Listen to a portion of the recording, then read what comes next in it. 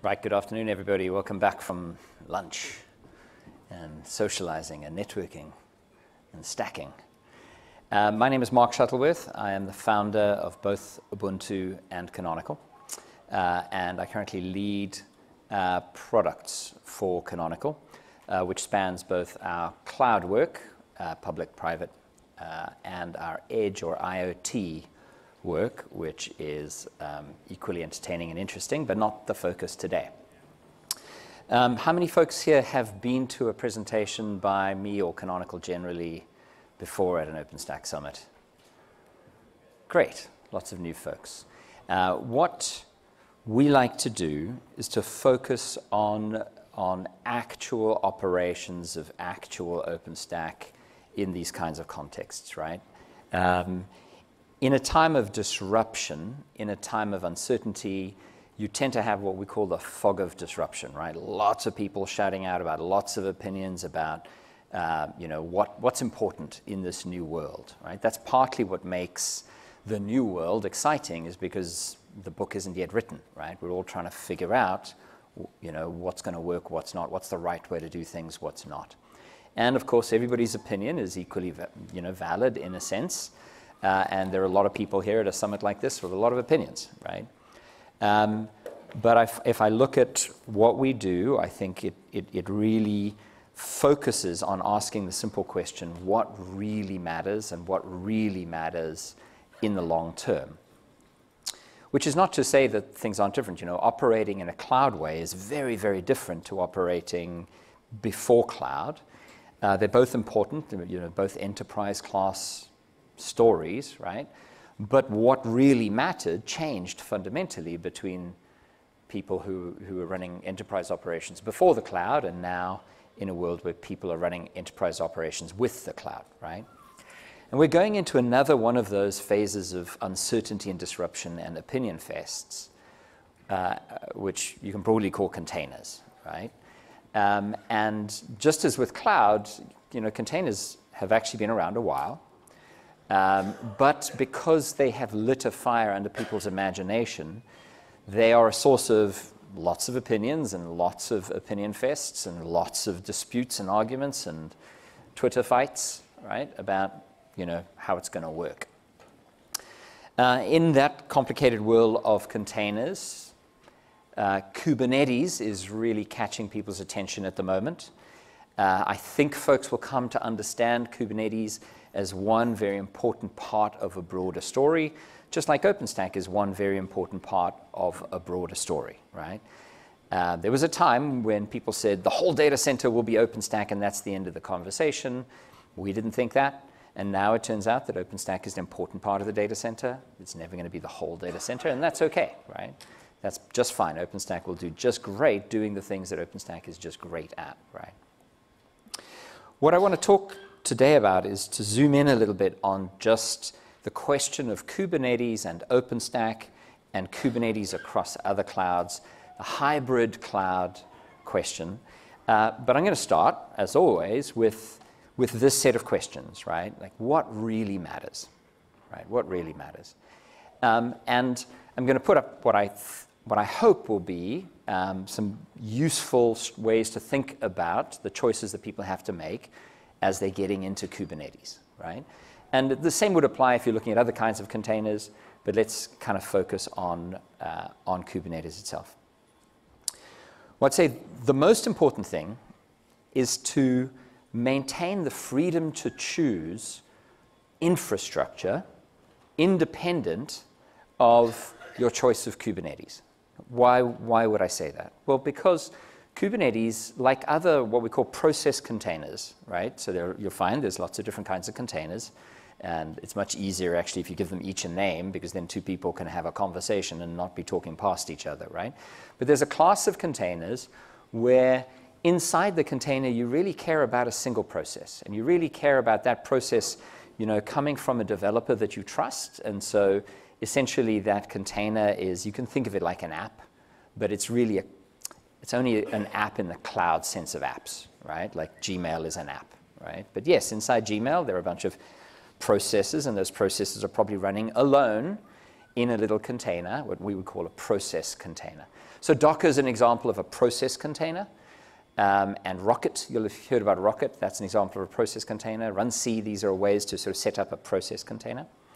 Well, those constructs are completely separate from machines.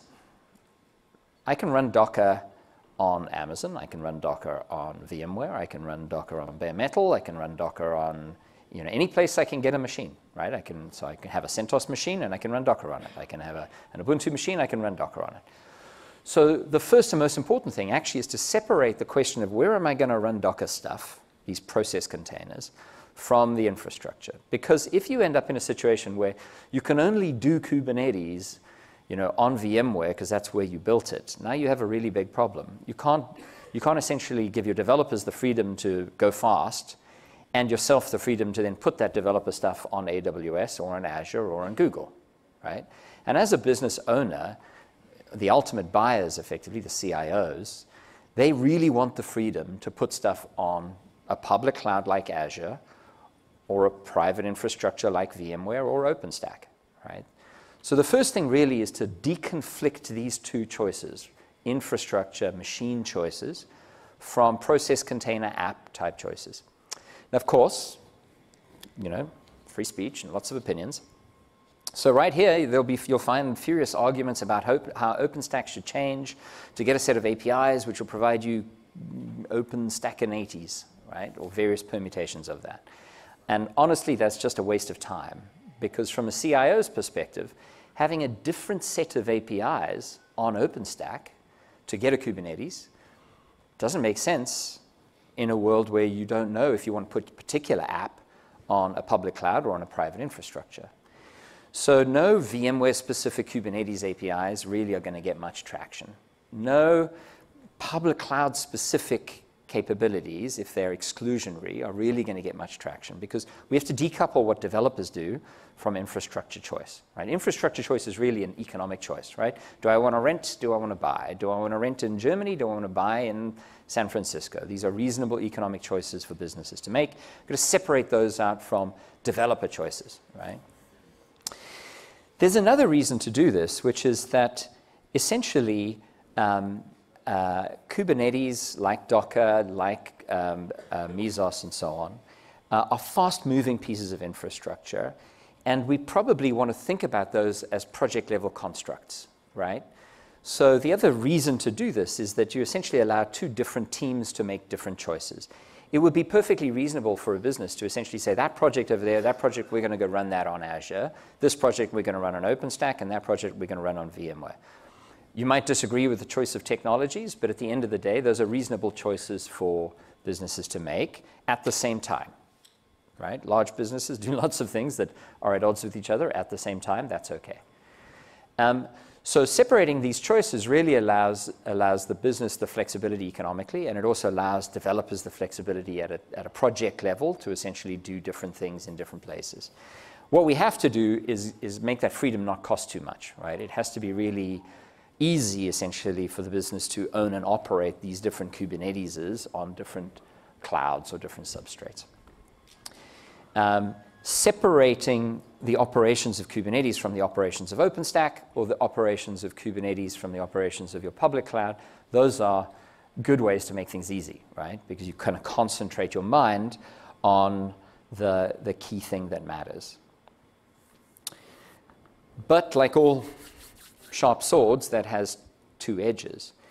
Kubernetes is a layer um, essentially for coordinating Docker processes, applications. And those applications typically are cloud native applications, which means that they're built in a way um, which can really take advantage of cloud services. So if you look at AWS, they don't just provide you with VMs, uh, but they can also provide you with load balancers. If you look at Azure, they don't just provide you with VMs, they've got different kinds of storage. If you look at Google, they don't just provide you with VMs, they've got these ancillary SaaS services that they wrap around, which are in each case really interesting and really good, right? So simultaneously, you want to do two things. First, you want to decouple your, your, your thinking about process containers, Kubernetes, Docker, from your choice of cloud. Because as a business, you want to maintain the freedom to choose. But if you've decided to deploy something on Azure, right, it makes sense to then get the most efficient deployment on Azure. If you've decided to deploy something on OpenStack, it makes sense to, to get the most efficient OpenStack.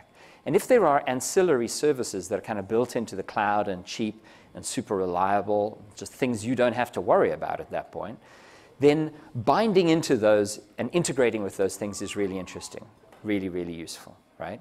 And that's something of a contradiction. I just said, you know, separate these choices, and then I said, having separated those choices, go and like lock yourself into the cloud, right? But in fact, if you think about it right, the fact that you can spin up a Kubernetes wherever you want and then optimize that Kubernetes for the cloud, you're not locked in, right? You, you, your developers shouldn't know which cloud you're on at that stage unless they themselves are choosing cloud-specific services for machine learning or other capabilities that those clouds are offering, right? At a K8s level, at a Kubernetes level, you know, you, sh you should be able to choose where you want to do something for a project and then choose if you want to use the local optimizations, the cloud-specific optimizations. So that we would call sort of integration of the cloud and Kubernetes. And then this is probably the biggest thing that most people don't think about, um, but maybe I hope you will, which is that, you know, you, you fall in love with a thing like Kubernetes, and it's very exciting. And so all of your best people will be interested in it. The CIO will be paying attention. The, you know, there'll be monthly metrics as to how big your cluster is or how many apps you've moved to it or how in production it is, right? But it really starts to pay value to the business, just like OpenStack, when you stop thinking about it in that, you know, in that, in that very kind of excited way. It really starts to pay for the business when infrastructure kind of disappears into the background so the business can focus on the things that are really unique to the business, right?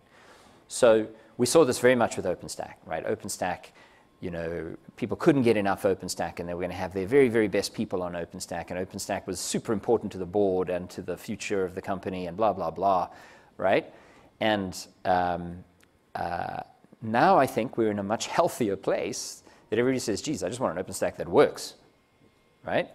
What's happening is that everyday operations and costs are suddenly really starting to dominate the conversation, right?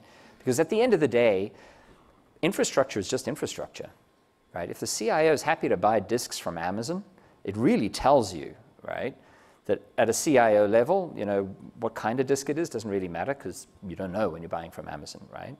I think that's super useful and super important to think about in the early stages. You're going to be living with this thing every day, and it will not be the most important thing, right? Hopefully, it won't be the most important thing, because what should be the most important thing is the apps you're building on top of it, right?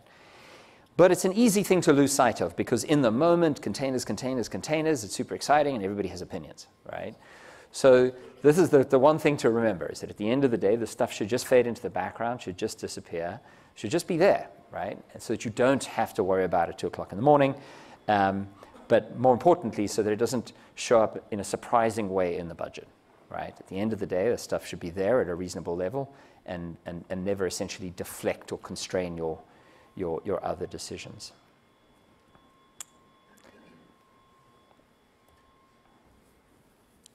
In a similar way, like these are all constraints about how you might think about operating Kubernetes. We know that open source has become the way that infrastructure gets defined, right? We understand that um, uh, we're living in a world where innovation, even mission critical, corporate defining innovation, leaks out of the building, and in fact, in many cases, it's pushed out of the building as open source, right? Remember the good old days when open source, open source was a sort of side project from people who you know, had spare time at work. Um, today, in many cases, you know, critical things that companies are inventing gets pushed out onto GitHub before it's a product, right? And so, you know, we have to find new ways to think about how do you know that a product is going to be around for a long time, right? It used to be um, that that uh, your enterprise database would get released every three years, and before it got released, it would have gone through very, very rigorous QA and documentation, um, you know, extensive beta testing, and so on and so forth. And you could you were essentially blind to all of that because it didn't exist to you until suddenly it showed up as a press release and a new product launch and so on and so forth, right? Whereas today, we literally watch the we watch the guts of software development, right, in public. It's great. It's very exciting. It's the best time ever to be a software person, right? Because you literally get to watch Google, Microsoft, Oracle, and others do their R&D in public, right? And Kubernetes, OpenStack are no different, right? They, they're just, we get to watch all of this. But the flip side to that is, ugh, you know, it's a bit messy. Um, and the best way to be pretty confident that um, uh, uh, you, you, will be able to go with the flow effectively is essentially to think carefully about places where you step out of the flow, where you step, where you climb out of the river effectively. And I think, you know, if we look at OpenStack over the last couple of years, there'll be many cases again where people stood up and said, you know, you should use our OpenStack because it has this particular feature, or we fixed this thing in OpenStack, or OpenStack had this problem and our OpenStack doesn't have that, right? And at the time, that might have sounded very convincing and compelling. But in the long run, you know, come back to the previous one, in the long run, there's no single feature you might have had on Kilo which turns out to be more valuable than everything you could get in L, M, N, and Ocata, right? And so staying close to upstream is really the best way to say, look, there may be one thing right now that's super, super, super attractive and interesting, but if I, stay, if I essentially preserve my ability to upgrade, right, I'm going to get a thousand new things every six months. And actually, as a business, um, getting into those features isn't the most important thing for the business. One of our, so you saw in the keynotes today, the big focus on managed services. And um, I, I, think they talked about one of the world's biggest deployments, large-scale deployments of multiple OpenStack clouds moving to a fully managed service. That's actually Canonical's BootStack service. Um, uh, and the customer there essentially said, hey, you know, um, in the early stages of OpenStack, we fell in love with the idea of modifying it. We fell in love with the idea that we ourselves could essentially change it and modify it.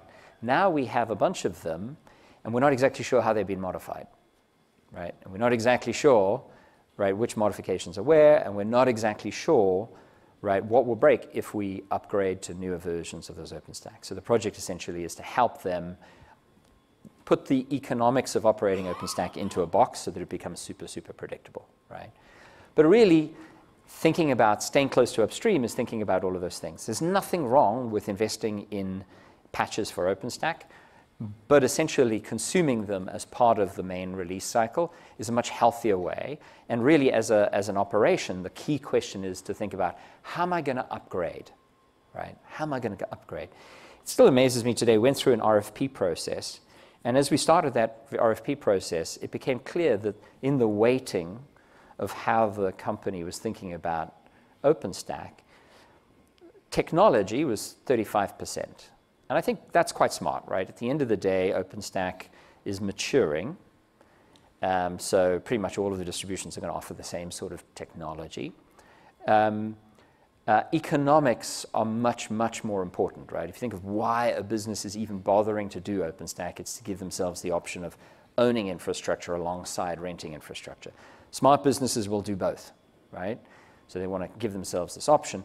If you ignore economics, you're forgetting the real reason to do OpenStack at all, right? It's all about economics. But anyway, 35% of the weight was for technology. But of that, only 8%, uh, if you treated the, all the tech as 100%, only 8%, less than a tenth, was can you upgrade? Well, that's really crazy, right? Because if you think about it, if you're rolling out for a large business, you may be rolling out tens or hundreds of clouds. If you think of a telco, you're rolling out 200 clouds in North America. Well, if you do one a day, by the time you get to the end of that, right, you're two releases out of date of OpenStack. So actually, not only do you need to roll them out one a day, you need to upgrade them effectively every six months, which means you may have to upgrade them twice in the same year before you've finished rolling out the whole thing right? So upgrades, your ability to own the thing and upgrade the thing, and to do all of that predictably and cheaply, those turned out to be super, super valuable, right? So in your weightings of things, you know, staying close to upstream and everyday costs turn out to be super, super important. Any comments or questions? Anyone want to call me out for a lying, cheating, thieving South African? Is this resonating with those of you who've owned OpenStack for a little while? Yes. Well, I speak from any position of authority, but just since you did, um, the uh, just regarding the uh, the upgrade cycle itself, um, having just sort of entered into it for the last year, OpenStack mostly from an academic point, I just wonder about the stability. How does the system remain stable? Is this pertinent at this point? A question like this is not It's very pertinent. So the question is you know, when you're upgrading something that has many, many moving parts, how do you assure stability? I'd say the, the, the, number one, the deep, the zen of how is repetition. You know, the first time you upgrade anything complicated, it is a science project, right? And that's true of everybody, right? You might have, you know, a better background in physics, but it's still a science project. And the great thing about science is you learn stuff because it doesn't work quite the way you thought it was going to work, right? So the, the, real key is, is essentially using the same upgrade process that many other people have used because you find that there are rough edges and, and if lots of people have used that process, then other people will have found rough edges that you don't have to find. So that's the first thing. For us, one of the keys is that we're able to essentially reuse operations code in completely different architectures. Now, normally, if you think about how people automate stuff, they'll say, oh, we're automated. This you know, the bank will say, we're totally automated, and the building, you know, the other guys will say, the insurance guys will say, we're totally automated, and the, the oil and gas guys will say, we're totally automated. But if you look at them, there's not a single line of Chef or Puppet or Salt or Ansible that's the same in those two operations. Or if they started with the same thing once upon a time, they've forked beyond recognition, which means for each of them, the first time they do it, it's a science project, right? So we have a substantial advantage because of our use of Juju, which essentially encapsulates operations and decouples those from architecture, we can use the same operations code even in cases where you have two completely different architectures of OpenStack. You know, I might, for whatever reason, have storage and compute and, uh, and control plane all on the same machines with or without containers, and somebody else may have said, no, no, no, no, no, I've got reasons that I want to separate those things. Two totally different architectures, but the code that sequences what do I tell this hypervisor node before I tell that control plane node, before I tell this database node, before I tell that messaging node? That code can all be the same because that's independent of architecture, right? The operations of the Oracle database, it's a good idea to sequence this, then this, then this, then this when you're backing it up and updating it. Those are independent of whether those things are VMs or physical machines or even containers, right? So, so the, the key thing actually came from, from pulling operations out of the architectural automation. We call that modeling, right? Where we, the, the architecture comes from the model, but the operations are essentially reusable across all different architectures and different models. So, so that's the heart of it. You know, people measure their progress in different ways. One of the things that we measure very closely is for our customers, um, how many of them are on the latest version of OpenStack. It's really important to us to help them that they're just there on the latest version of OpenStack. And it's very, very clear the difference between us and others is that our guys tend to find it fairly easy to stay on the latest version of OpenStack. They upgrade running clouds. The actual workloads don't need to know. Um, in fact, some of our toughest customers are now pushing to be able to maintain operations on the cloud. In other words, you're still creating disks, you're still creating VMs, you're still while you're actually upgrading those services. So that's the kind of current state of the art for us is, is being able to not only leave all the workloads in place and then upgrade the cloud, you know, in, in, in a couple of minutes, but actually to be able to leave the cloud operating so that you don't have, you have essentially zero downtime from the point of view of things that are consuming resources. That's super fun, actually. That's super fun getting to that level of operations. Um, but okay, the key thing is to be able to reuse that knowledge easily across, across lots and lots of people so that it's not a science project for everybody, right? Let, let somebody else push us to do the R&D so that, so that everyone else can reuse it for free. Okay, so now the question, how do we think OpenStack and Kubernetes fit together? Well, the simplistic answer is beautifully, right? Like the, the, they are effectively dealing with different classes of object in, in my view. It's not up to me to say what OpenStack is, right? There's a board for OpenStack and they make decisions and technical committees and then PTLs and projects and tents and things like that. That's where OpenStack gets defined. But if you were to ask me, I would simply say, look, we have two completely separate and independent layers, right? We have machines on demand as a story. And for that, we need software and APIs and things that give us machines on demand. And at some level, everybody knows what a machine is, right? I mean, that's kind of the beauty. What Amazon did is they said, here, you can have a machine by the hour. Is it an actual machine? No, it's a virtual machine. But we don't care, right? It feels, looks like a duck, talks like a duck, quacks like a duck. We can use it like a duck, right? And we can certainly do R&D or prototyping for ducks on that kind of stuff, right? And everybody was quite happy with that, and now people do a lot more, right? So we have infrastructure for machines on demand, and then we have infrastructure for processes on demand, and those can stay completely independent. Now, it's up to OpenStack to have the kind of clarity of purpose to not be confused about that, right? And maybe we will, maybe we won't. But I'm not confused about that, and I suggest you not be confused about that because the confusion won't help, right? You want to be able to do Kubernetes trivially on OpenStack or on public cloud the same way. That means it can't be something special to do with OpenStack. There is an opportunity, I think, to, do, to provide services in OpenStack and bind those to Kubernetes when people do choose to put their standard Kubernetes on OpenStack. And the services there would be LBaaS, for example. LBaaS to me makes a lot of sense to have as essentially part of the broader picture of Neutron. And we already see LBaaS. Um, it's, it's, it's well defined. The couplings between LBaaS and Kubernetes are very obvious. The way Kubernetes thinks about an application is as a set of processes with IP addresses across which you can load balance, right? So they're very clear examples of places where should OpenStack provide a standard infrastructure as a service primitive, a Kubernetes could bind to that and use it as an optimization. But, but that's it. As far as OpenStack is concerned, it doesn't know that that's Kubernetes, right? That's just a set of IP addresses that it's load balancing across. So processes on demand, that's what Kubernetes does very well, but it's also what, what Docker does very well.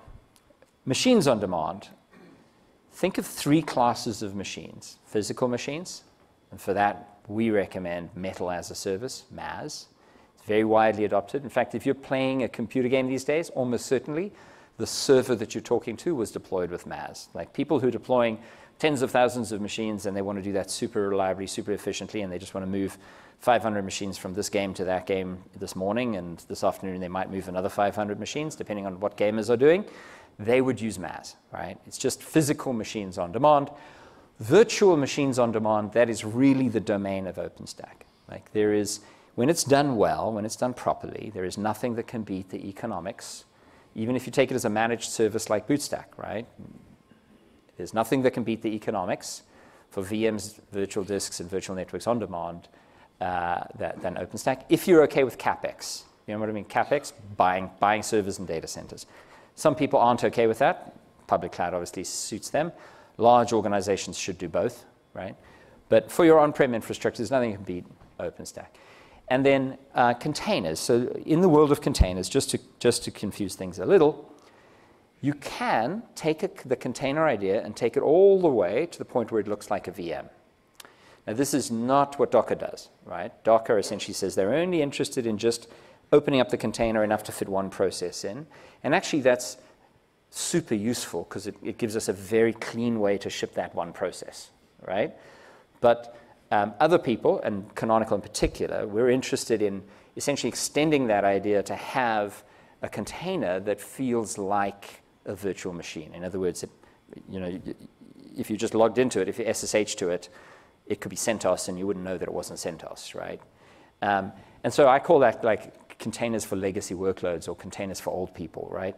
It's, it's a, a really interesting conversation because simultaneously we will talk to a bank about Docker or Kubernetes, which is the new style process container cloud native architecture for the next applications, and LXD, which is basically where can you substitute out KVM for something that's lighter and faster, but without changing the application, right? So You can get machines that are containers, but don't worry too much about that, right? It doesn't, it's not Kubernetes, it's just machines. And then on top of that, processes. The way you organize larger numbers of processes, you can use Docker Swarm, you can use Kubernetes, but for here, obviously the thing that we're focused on is Kubernetes. Across all of these different places, you can get machines, right? You can get machines from Google. I can get machines from OpenStack. I can get machines from Oracle, Rackspace, SoftLayer it is kind of fantastic that you have all of those guys working for you, right? Oracle will give you a machine on demand. That's great. So will Google, so will Microsoft, so will Amazon. And so really thinking about then how to deliver Kubernetes cleanly on that is, is the story of the day. Oops. So I have, let's see what I've got that's fun. Let's not go there yet. So um, I'm going to need to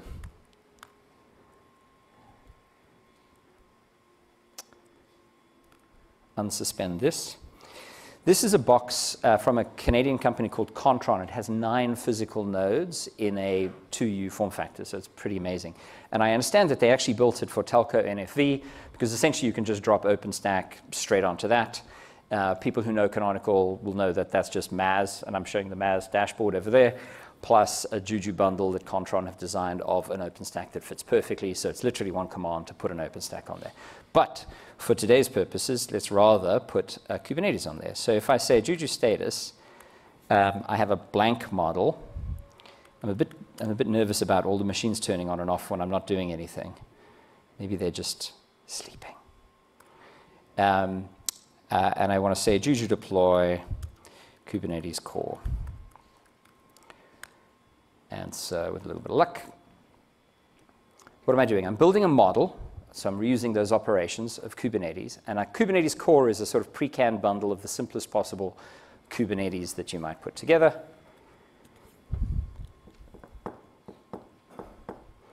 And with a little help from the internet. There we go, it'll come. Um, I'm building a model of this super simple Kubernetes. And I'm mapping that model to a couple of physical machines. So what you should see is physical machines turning on. And then once those machines have the operating systems installed, the model of the Kubernetes applications will be built, and that will give me uh, a Kubernetes.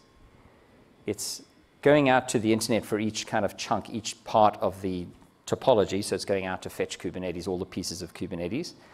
Um, so I'm going to leave that and just switch to the public cloud. Um, this is a, a, slightly bigger model of Kubernetes that I deployed on Google um, an hour ago. And so I can just kind of walk you through that. So I typed exactly the same command. Instead of just Kubernetes core, I chose uh, canonical Kubernetes, right? And so that's a slightly bigger model. In other words, it has some additional pieces and it scales out some of those pieces. So let's just look at what's in that Kubernetes.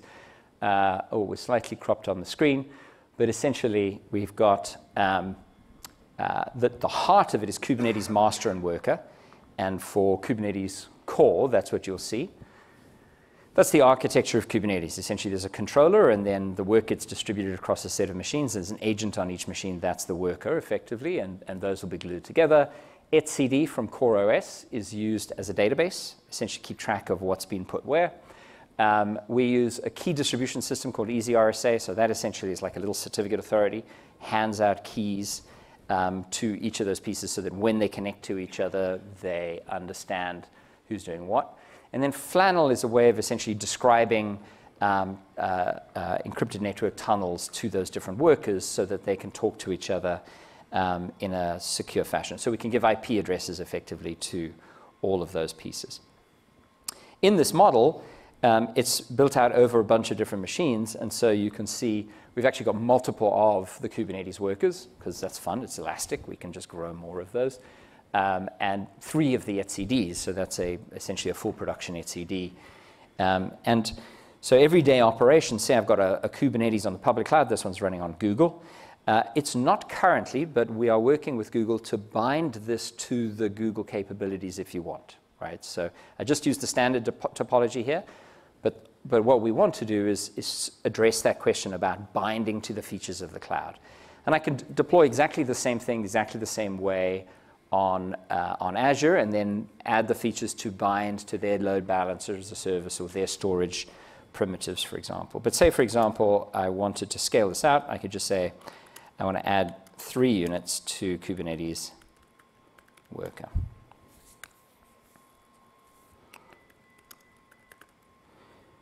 So because I've mutated the model, essentially, I've now said, OK, I actually want a total of six units of Kubernetes worker. And that means I need to go out and get another three machines from Google, which are pending. So you can read that chart very clearly. You can see how changing the model essentially fetches clouds from resources from the cloud as needed. How are we doing on that bare metal? So you saw the deploy. And here, because it was Kubernetes core, I've actually only got, well, really two physical machines that I'm asking for. So Kubernetes core, you can do Kubernetes core with just two VMs or just two physical machines. And then all of those services are mapped in there. And they'll be busy turning on um, to get the operating system deployed. If I go and have a look at that in MAAS, here you'll see there are those two machines, and they've gone from switched off to turned on. The operating system's getting deployed, and then the model of Kubernetes will get built on top of that. Okay, so now I want to do something a little crazy. Um, that Google Kubernetes is in the middle of a big change. I scaled it out, right? So I'm in the middle of scaling out that Kubernetes. And I deployed that Kubernetes, and I deliberately asked for an old version of Kubernetes, right? I deliberately asked for Kubernetes 1.5. Who's played with Kubernetes? Who's actually built it? How many of you built with 1.5? How many of you built with 1.6? Okay. So this is a classic problem. People go out, Kubernetes changes every three months. And so people go out and build with Kubernetes 1.5 and then 1.6 ships. And how much work is it to go and replumb that infrastructure and so on and so forth? How stuck do you get? Well, I'll show you. When you do it this way, I'll show you how stuck you get. So say I want to upgrade Kubernetes 1.5 to Kubernetes 1.6. Well, I actually only have two pieces of Kubernetes here that I need to worry about, right? Um, so here in Google, I've got the Kubernetes master and worker, and I'm going to just go juju config. Um, Kubernetes master.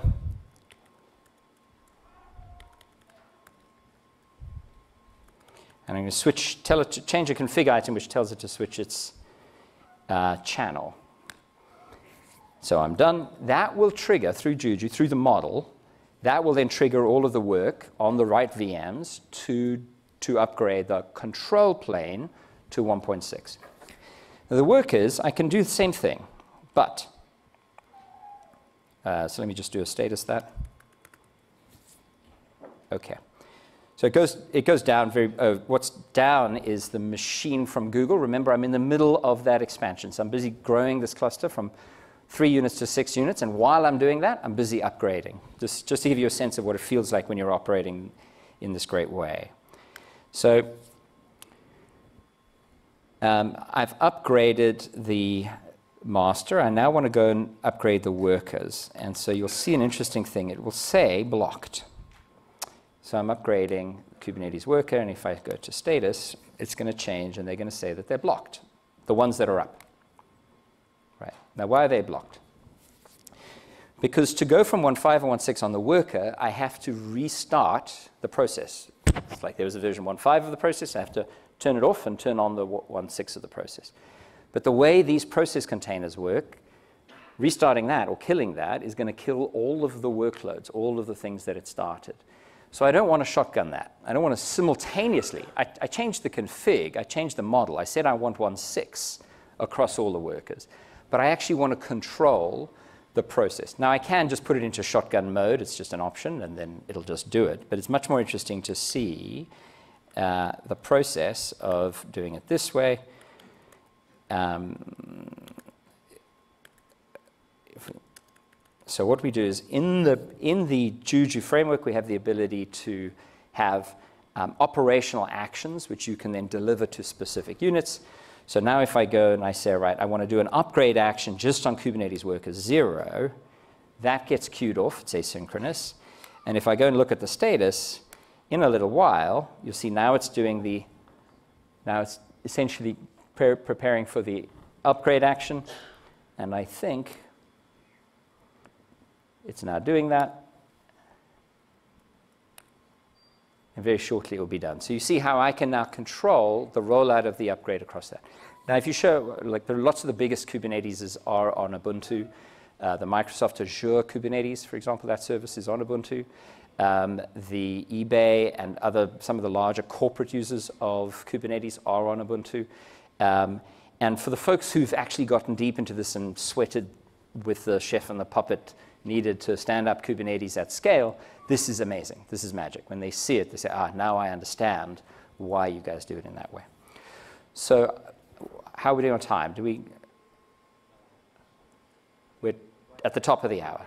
Okay, I'm going to take questions, but while I take questions, my colleague James is going to come in and plug in and just essentially do that deploy on top of OpenStack in the background. Sorry, James. James has a very good speaking voice and answers questions quite well too. But, but if, if anybody has questions, I'll take them while James essentially just shows you a stand-up of Kubernetes on OpenStack. So now you would have seen Kubernetes getting stood up on bare metal, You'd have seen it getting stood up on Google and then upgraded on Google while it was being scaled out on Google. And then we'll show you the same on OpenStack. So complete decoupling of those two. Any questions? Was that useful? Yeah. yeah. Any questions? How's MAAS related to Ironic? MAAS is something of a uh, wise old grandfather to Ironic. It's probably the nicest way to put it. So MAAS predates OpenStack and is now used very widely to operate the whole data center. Folks, there was a, an opinion fest, and there were folks who said no, they wanted bare metal, bare metal provisioning inside OpenStack effectively. We disagreed with that simply because we thought, look, most of OpenStack is to give you virtual machines, virtual disks, virtual networks. Most of the knobs and dials on the dashboard are complete lies or irrelevant when you're dealing with physical hardware. So we continued with MAAS, and now I think most people agree that actually it's better to give your data center to MAAS and then use um, uh, uh, OpenStack for virtual goods. If you want bare metal performance with OpenStack, the best way to do it is with containers. Remember I showed you that kind of container, LXD, that is like a machine. So OpenStack LXD, Nova LXD is great. And so if you give people a single container on bare metal through OpenStack, then it feels like real OpenStack and they get all the raw, raw performance of the machine. So yes, we see a lot of folks who asked that question, less so now because I think people have tried both. They generally go with MAAS. Other questions? Yes?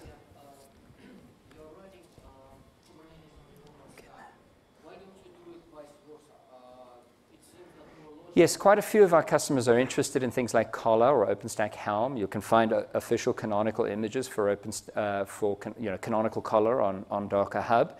Um, and, and we will happily support our customers if that's, if that's how they want to do it. You could usually deploy Kubernetes at scale on MAAS and then run Kolla or OpenStack Helm to spin up Kubernetes on top of that.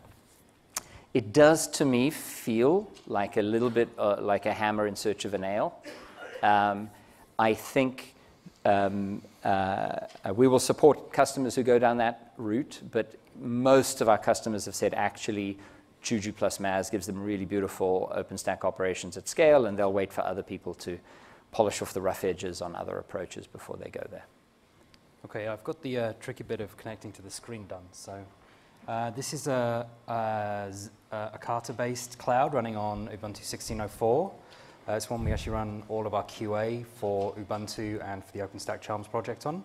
Uh, you can see I've got a couple of instances running. I've got a Juju controller already running, and uh, we're going to deploy the same bundle that Mark deployed on uh, GCE on, on this cloud as well. So that's exactly the same experience. command that I typed to deploy on the Google public cloud effectively. And what we should see once this has started going is uh, just let it get its legs. So we're now talking to the Juju controller and saying, hey, we want to build a model which has these apps and these VMs on OpenStack. The Juju controller will then turn around to OpenStack and say, hey, we need some VMs, and hopefully those will start showing up in the Nova listing in a sec.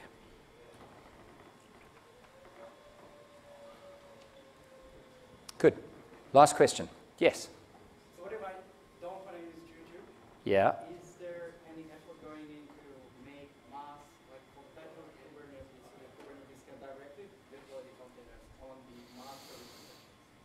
Yes, you can. I mean, so lots of people use MAAS without Juju. They use MAAS just to own the data center and allocate machines to Windows, allocate machines to CentOS, allocate machines to Ubuntu. MAAS will deploy all of those things, and MAAS has no idea whether it's giving them to Juju, whether it's giving them to Ansible, whether it's giving them to Chef, Puppet, anything else. So it's very easy to just get machines out of MAAS through a REST API, right? If they're in your quota, you can get them, right? Uh, and so that makes it easy. Can, can Kubernetes do it right now? Well, Ku- Kubernetes is Kubernetes will give you Docker processes on demand, right? You're, you're kind of making life difficult for the Kubernetes people if you start asking them to give you physical machines on demand, right? Everything has a Zen. Everything has its purpose, right? There are chisels and hammers and mallets, and they're all good. Do you know what I mean? You want to use things the way they're good. So K8s will give you Docker processes on demand. MAAS will give you physical machines on demand, right? Those are each different things. What you can do is you could use, for example, Ansible and Bash or Python to deploy Ubuntu across a bunch of machines or CentOS across, across a bunch of machines, and then put Kubernetes on top of that. You would just be doing for yourself manually the stuff that Juju does for you, right? So really, don't be ideological about this. Would be my thoughtful advice, right? Good. Thank you very much. I hope that was useful. Thank you. Did they come up?